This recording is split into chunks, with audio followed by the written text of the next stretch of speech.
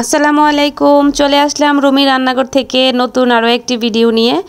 আজকে রান্না করেছি হাড়সহ গরুর মাংস দিয়ে মুগ ডাল, আর এই মুগ ডাল রান্না করলে ভাত অথবা পরোটার সাথে যেভাবেই হোক খেতে অনেক ভালো লাগে। তো চলুন, কীভাবে রান্না করেছি আপনাদের সাথে শেয়ার করি। আমি এখানে হাড়সহ গরুর মাংস নিয়েছি, সাথে সামান্য কলিজাও ছিল। আর এই তো মুগ ডাল নিয়ে নিলাম। প্রথমে আমি একটা ফ্রাই প্যানে মুগ ডালগুলো ভেজে নেব। আর মুগ ডালগুলো ভাজার সময় আমি চুলার আঁচ একদম মিডিয়াম লোতে রাখব।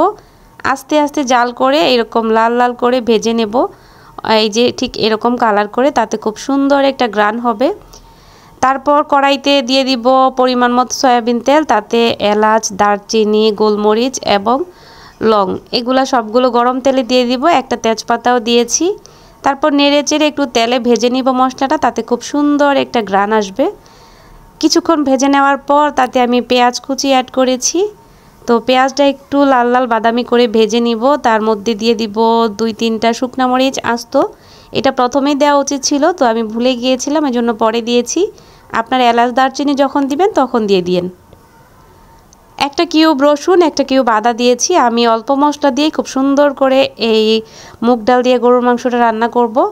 তো আদা রসুনটাও একটু ভেজে নেওয়ার পর এখানে ধনিয়া গুঁড়া, জিরা গুঁড়া, লবণ, মরিচ, হলুদ গুঁড়া সব কিছু পরিমাণ মতো, স্বাদ মতো দিয়ে দিলাম। গরম তেলে দিয়ে সাথে সাথে আমি পানি অ্যাড করে দিব, মশলাটাকে খুব ভালোভাবে কষানোর জন্য। এই তো দিয়ে দিলাম পানি, এখন নেড়ে চেড়ে মশলাটাকে ভালোভাবে কষিয়ে নিব, উপরে তেল ভেসে ওঠা পর্যন্ত। এই তো মশলাটা খুব সুন্দর করে কষানো হয়ে গিয়েছে, আর মশলাটা খুব ভালোভাবে কষানো হলে রান্নাটা খেতে অনেক ভালো হয়। কোনো কাঁচা স্মেল আসে না মশলার।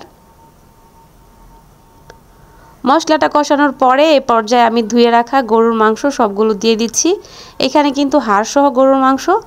আর এই মাংসটা দিয়ে মশলার সাথে নেড়ে চেড়ে খুব ভালোভাবে মিশিয়ে নিব এবং ঢেকে ঢেকে এটা আমি খুব সুন্দর করে কষিয়ে নিব। মশলার সাথে যেন মাংসটা খুব ভালোভাবে মিশে যায় এই জন্য ভালোভাবে নেড়ে চেড়ে দিচ্ছিলাম। এই ধরনের খাবার কিন্তু আপনারা রুটি, পরোটা অথবা গরম ভাত যেভাবেই চান খেতে পারেন। খুব ভালো লাগে খেতে।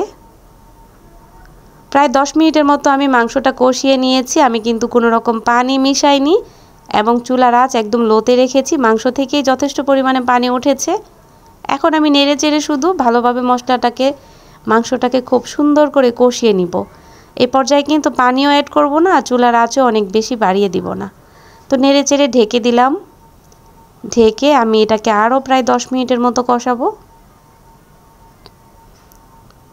দশ মিনিট পর ঢাকনা উঠানোর পর দেখুন এখনও কিন্তু পানি আছে এখানে। তো আমি আরও কিছু সময় কষাবো, প্রায় ফিফটি পার্সেন্ট রান্না আমি এইভাবেই করে নিব, ভালোভাবে কষাতে কষাতে। আর মশলা, মাংস যখন ভালো কষানো হয়, সে রান্নাটা খেতে অনেক ভালো হয়। এই তো একদম ফাইনাল লুক যেটা হচ্ছে মশলা কষানোর পরে, মাংস কষানোর পরে। এখন আমি দিয়ে দিলাম এটাতে পরিমাণ মতো পানি। পানিটা দিয়ে নেড়ে চেড়ে আমি বলক ওঠা পর্যন্ত একটু অপেক্ষা করব। বলক উঠে গিয়েছে, এখন আমি যেই মুগ ডাল রেখেছিলাম ওগুলো ধুয়ে রেখেছি, আমি এখন দিয়ে দিব। মুগ ডাল দিয়ে নেড়ে চেড়ে ভালোভাবে মিশিয়ে ঢেকে সিদ্ধ করে নিব। এখন হচ্ছে জাস্ট সিদ্ধ হওয়ার পালা। মাংস, মুগ ডাল সব একসাথেই সিদ্ধ হবে। চুলার আঁচ মিডিয়াম রাখে, আমি হচ্ছে এটাকে জাল করেছি। মাঝখানে একবার ঢাকনা উঠিয়ে আপনাদেরকে দেখিয়ে দিচ্ছি যে কীরকম হয়েছে। এই তো। তো ভালোভাবে নেড়ে চেড়ে দিচ্ছি আর দেখছি যে মুগ ডালগুলো ভালোভাবে সিদ্ধ হয়েছে কি না অল্প আঁচে রান্নাটা করলে লাস্টের দিকে তাহলে খুব সুন্দর একদম মুগ ডালগুলো ভালোভাবে সিদ্ধ হয়ে যায়। আমি একটু চেক করে নিচ্ছি। প্রায় এইট্টি পার্সেন্ট সিদ্ধ হয়ে গিয়েছে, এখন বাকিটুকু সিদ্ধ হয়ে যাবে যতটুকু ঝোল আছে। তা আমি এখন আবারও ঢেকে দিব এবং ঢেকে রেখে আস্তে আস্তে এটা সুন্দর করে সিদ্ধ করে নিব। এর মধ্যে মাংস এবং মুগ ডাল সব কিছুই পারফেক্টভাবে সিদ্ধ হয়ে যাবে। এই তো ফাইনাল লুক দেখুন, একদম সুন্দর একটা রান্না হয়েছে। এ পর্যায়ে আমি দিয়ে দিব এটাতে ভাজা জিরার গুঁড়া, কারণ এই রান্নাটা পুরোপুরি কমপ্লিট হয়ে গিয়েছে। আর নামানোর ঠিক আগ মুহূর্তে যখন ভাজা জিরার গুঁড়া দেওয়া হয়, তখন খেতে কিন্তু অনেক ভালো হয়। এরকম একটু গ্রেভি গ্রেভিই থাকবে, তাহলে খেতে ভালো লাগবে। আমি এখন দিয়ে দিব উপরে ভাজার জিরার গুঁড়া। আর এটা এখন রান্না পুরোপুরি কমপ্লিট সো আপনারা যদি চান কেউ বাসায় যখন গরুর মাংস আনা হয়, তখন কিছু হাড় থাকে। ওই হাড়, চর্বি, একটু মাংস একসাথে মিক্সড করে আপনারা এরকম মুগ ডাল দিয়ে রান্না করতে পারেন। বুটের ডাল দিয়ে রান্না করলেও ভালো লাগে এক একটার এক এক রকম স্বাদ।